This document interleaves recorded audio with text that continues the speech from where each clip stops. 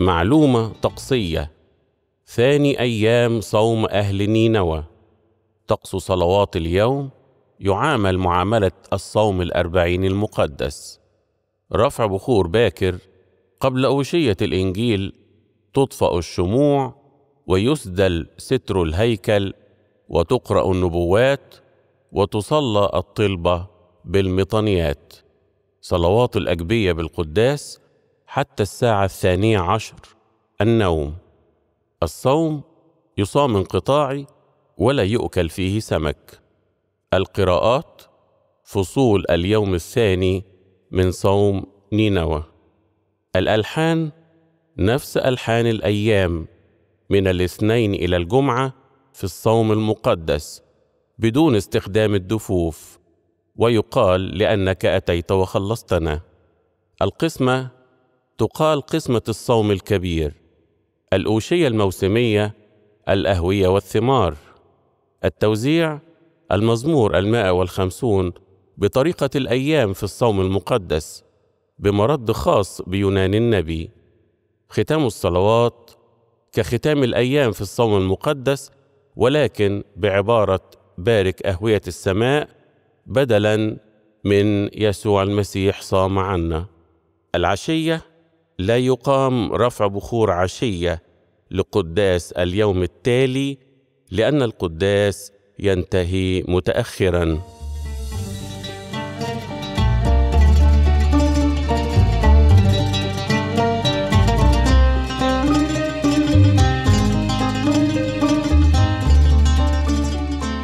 باسم الآب والابن والروح القدس الإله الواحد آمين.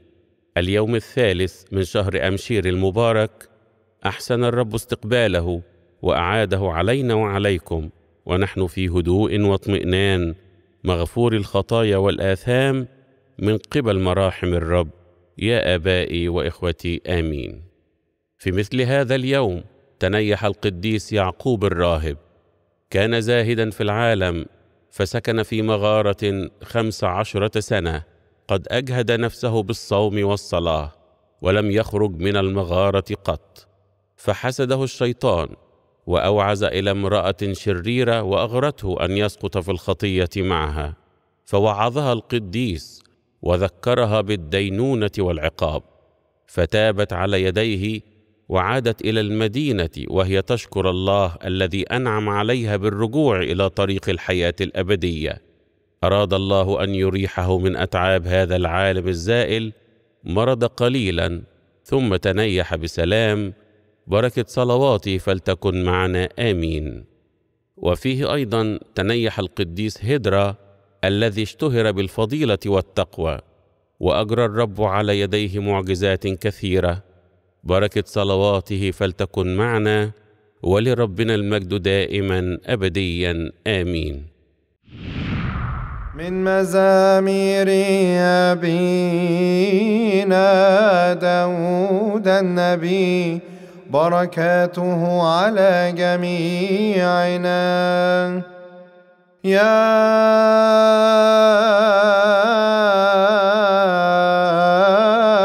رب غفرت إثم شعبك سترت جميع خطاياهم. حللت كل رجزك. رجعت عن سخط غضبك. آه.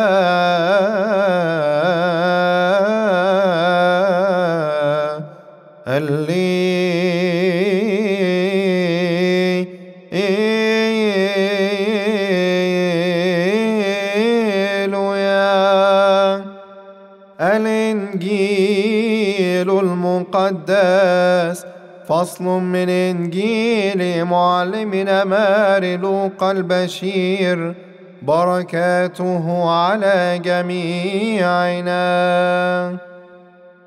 ولما ازدحمت الجموع طفقا يقولوا إن هذا الجيل شرير يطلب آية فلا يعطى آية إلا آية يونان النبي. لأنه مثلما كان يونان آية لأهل نينوى كذلك يكون ابن البشر أيضا لهذا الجيل.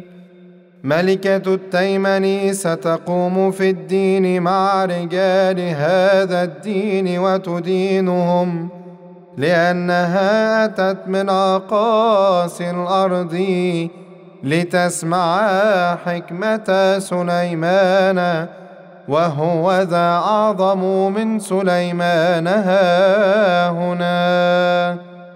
رجال نينوى سيقومون في الدين مع هذا الجيل ويحكمون عليه لأنهم تابوا بمنادات يونان وها هنا أعظم من يونان ليس أحد يوقد سراجا ويضعه في خفية. ولا تحت المكيال لكن على المنارة لينظر الداخلون النورا سراج الجسد هو العين. فإذا كانت عينك بسيطة فجسدك كله يكون نيرا. وإذا كانت شريرة فجسدك يكون مظلما. فاحذر إذن لئلا يكون النور الذي فيك ظلاما. فإن كان جسدك كله نيرا ليس فيه جزء مظلم فكل شيء يكون نيرا. كما يضيء لك السراج بلا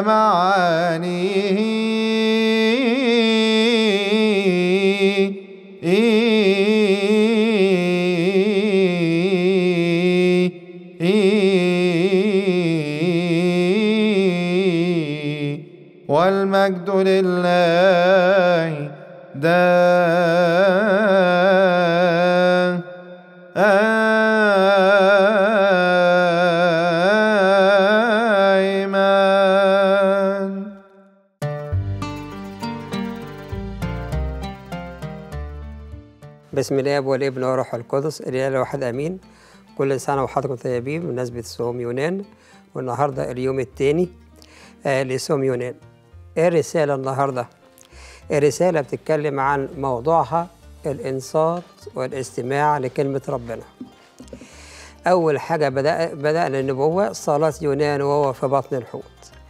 في الوسع هرب يونان في هروب يونان من وجه ربنا. لما كان في وسع ورحرحة أول ما وقع في ضيقة وجت ضغطة بدأ يصرخ لربنا ويقول له كلمة جميلة يقول صرخت في ضيقي إلى الرب إلهي فاستجاب لي. إيه اللي خلى يونان يشعر بالرجاء ده؟ على فكرة يا أحبائي صلاة يونان دي بتتقال في بعد قراءة آه، مراسي أرمية في أسبوع الآلام بعد الساعة 12 على طول. بعد ما نتكلم عن الآلام ونبوات الآلام نبدأ نتكلم عن الرجاء بالقيامة وبالنصرة إيه السبب اللي خلى يونان يشعر بالرجاء وبالفرح؟ صلاته حقيقية بتعبر عن مشاعر جوانية بحاجته إلى الله بشعوره وحنينه إلى الله.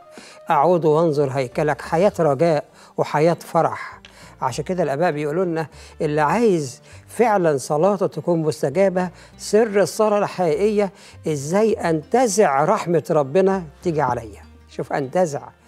إزاي أقدر أقول له رب لا أطلقك إن لم تباركني؟ ما يكونش مجرد تحريك شفاه ولا كمشاعر جافة لا. أكون في عصارة حب وعصارة رجاء أقدر أنتزع رحمة ربنا وتيجي عليا. إزاي؟ هو دوت الحكمة اللي عرف يقدر ينتصر بيها يونان ويقدر يشعر بوجود ربنا معاه. آه نيجي نبدأ بإنجيل باكر. إنجيل باكر إحنا قلنا ده بيتكلم الرسالة كلها عن غرس كلمة ربنا. أسمع لكلمة ربنا. صدقوني يا أحبائي ربنا هو اللي بيجذب النفوس ربنا هو اللي بيحرك المشاعر ربنا هو اللي بيحول ال- القلب الحجري إلى قلب لحمي بس اللي يقدر يستجيب واللي يقدر يسمع.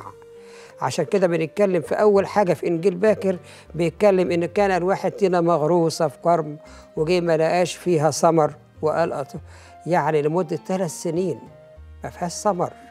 ثلاث سنين دي ده رمز الشباب والرجولة والشيخوخة. وربنا صابر ومدي اناه اسمع لي.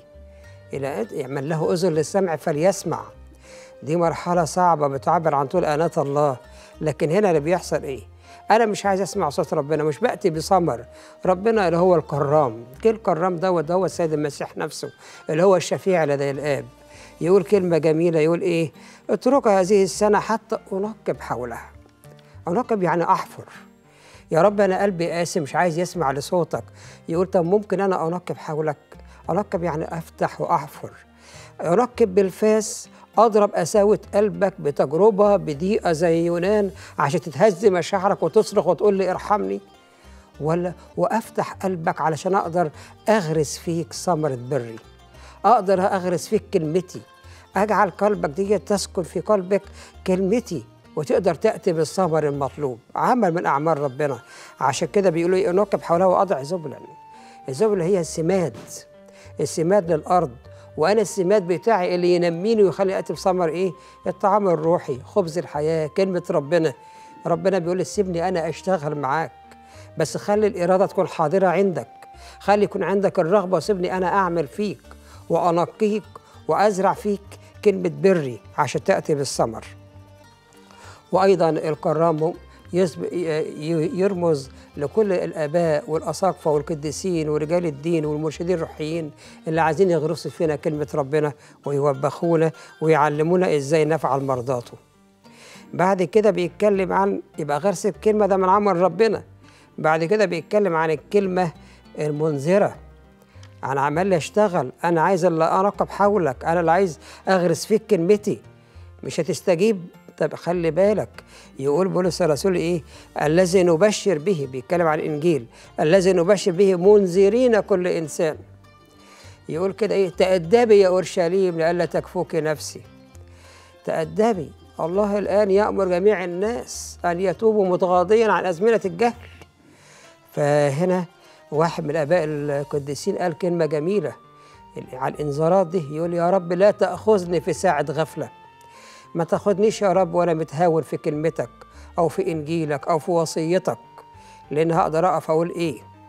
عشان كده أحبائي من مراحم ربنا إن هو مش بيعاقب مرة واحدة ولكن بيعطي فرصة وبيدي إنذارات.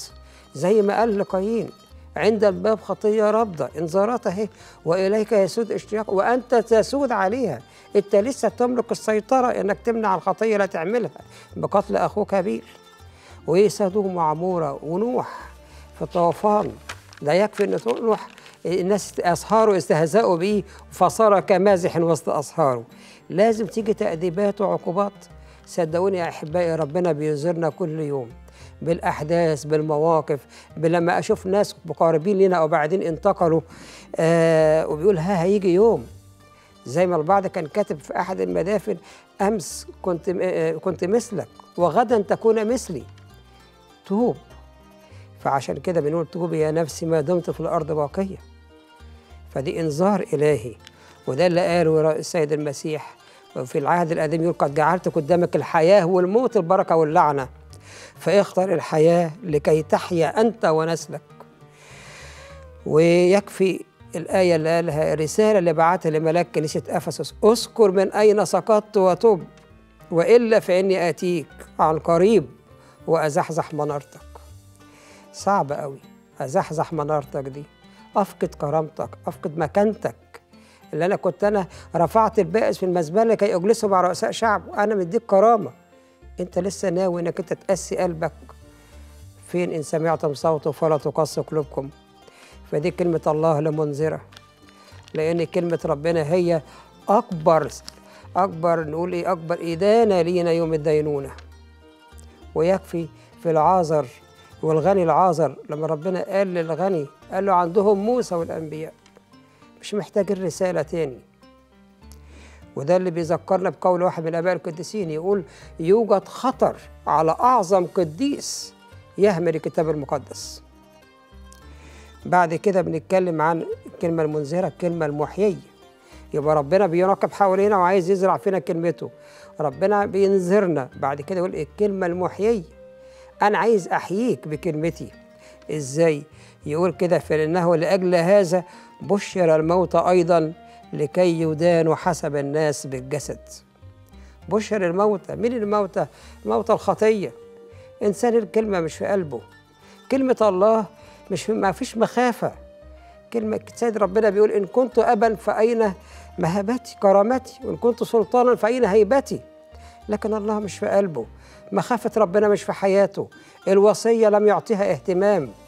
وبعد كده بيقول إيه؟ لكن لما أنت تعيش بالوصية بشر الموتى أنت هتكون حي بكلمتي. أحييك. بشر الموتى أيضا. طب بشر الموتى لما أنا أبدأ كلمة ربنا تتحرك في مشاعري وفي حياتي وأنا كنت إنسان عايش في الخطية. إيه اللي هيحصل؟ هيحصل أربع حاجات غريبة قوي بشر الموت أيضا لكي يدانوا حسب الناس بالجسد ولكن ليحيوا حسب الله. لما أنا أسمع رب صوت ربنا أنا هحيا وهستمتع. وبعد كده هعيش كما يحق الإنجيل المسيح لكن افاجئ يدانوا حسب الناس بالجسد. ألاقي ناس كتير جدا هيتهكم ناس كتير هتحاربني ناس كتير هتعايرني. ما الكتاب بيقول كل الذين يريدون أن يعيشون بالتقوى في المسيح يسوع يضطهدون. إيه المشكلة يعني إيه المشكلة لما أنا أتحمل من أجل المسيح؟ وبعد كده لكن البركة الأخيرة يقول إيه؟ ولكن كفاية يحيوا حسب الله. إنسان عايش بالروح. انسان عايش بالله عايش بفكر الله. الله حل فيه. عشان كده الكتاب بيختم بيقول الإنسان اللي هو بيعيش بالكلمة المحيية دهيا وفي ناس متغافله يقول نهاية كل شيء قد اقتربت. فتعكروا واصحوا للصلوات. العاقل عيناه في رأسه. الأبدية مش بعيدة الأبدية قريبة جدا. وضع الأبدية في قلوبهم.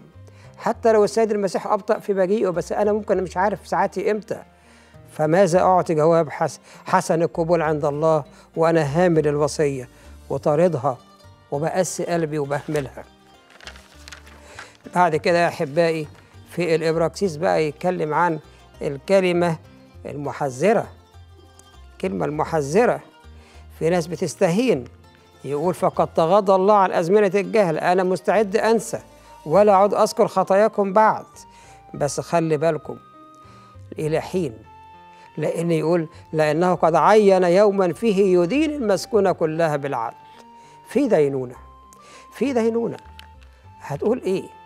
وده بيقول أعطيني يا رب جوابا حسن القبول أمام منبرك مرهوب. هقول لك إيه يا رب؟ أهملت الوصية ليه؟ مش عارف أعيش كما يحق الإنجيلك ليه. ما ربنا كان مدينا الموعي يعني أنا الواحد يتخيل كده ويتأمل في الآباء القديسين اللي عاشوا في البراري والكفار. كانوا كانوا يملكوا إيه غير الكتاب المقدس فقط؟ الكتاب المقدس كان حياتهم. وإحنا عندنا وسائل النعمة كتيرة جدا تقدر تعلمنا وتغرس فينا وتفهمنا الكتب الموجودة. عشان كده يا أحبائي آه كلمة بتتقال من الآباء يقول سيأتي وقت لا ينفع للخاطئ زرف الدمع. خلاص. توبي يا نفسي ما دمت في الأرض باكي هيجي وقت وعشان كده يا أحبائي بنقول إن دلنا أنفسنا رضي الديان عنا يا ريت نحكم على أنفسنا. يا ريت أحكم أنا فين من الوصية. أنا فين من عمق الوصية. وده اللي بيقوله واحد من القديسين بدأ مرة صرخ يقول آه لو كل واحد قعد مع نفسه وعاتب نفسه وراجع نفسه في ضوء الوصية كان ساعتها عاش عاش حياة الاستنارة. بعد كده بنتكلم عن إنجيل القداس بيتكلم عن الكلمة المبكتة. الكلمة المبكتة بيقول سيد المسيح حاجة غريبة إن كان يونان آية لأهل نينوى كذلك يكون ابن الإنسان أيضا لهذا الجيل. يعني إيه آية لأهل نينوى حاجة غريبة قوي في أهل نينوى فعلا دي آية غريبة معجزة غريبة. وصدقوني الواحد لما بيقراها بيشعر بالتبكيت والتوبيخ. آية لأهل نينوى ده نبي غريب عنهم. واحد غريب الجنس عنهم مش من ضمنهم مش من عشيرته مجرد ما نادى بالتوبة صاموا وصلوا وبالمسوح والرماد وإحنا عندنا ربنا. وهم شعب إسرائيل عايش المسيح في وسطيهم بيشفي مرضاهم بيعلمهم بيكم موتاهم.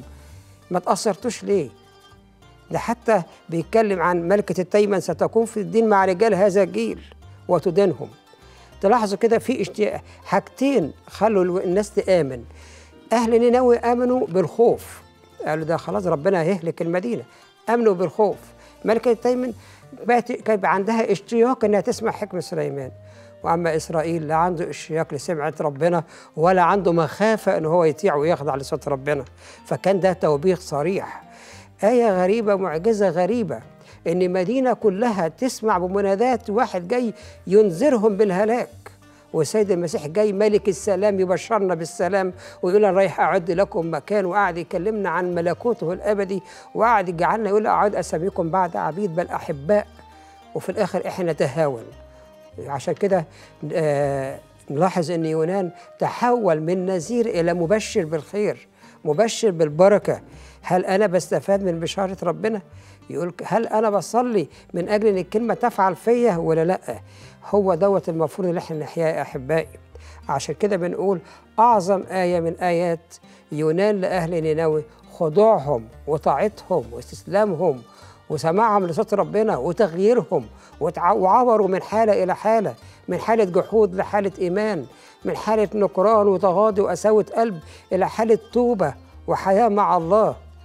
طب وأنا يا رب اللي كلمتك كل يوم بتقرا على قلبي. دخلت فيا أتت بثمر وأنا لسه جاف وأرض محجرة لم تأتي بثمر عشان كده السيد المسيح كان دايما يوبخنا يقول ملكوت الله جاي ملكوت الله جاي اصنعوا أسمار طريق بالتوبة في اصنع ثمر أنا فين من الثمار دهيا توبوا وآمنوا بالإنجيل. يا ريت نعيش حياة التقوى. ويا ريت نسمع زي ما سمع أهل نينوى ويا ريت نعيش بحياة الرجاء ولربنا كل مجد وكرامة في كنيسته من الآن وإلى الأبد آمين.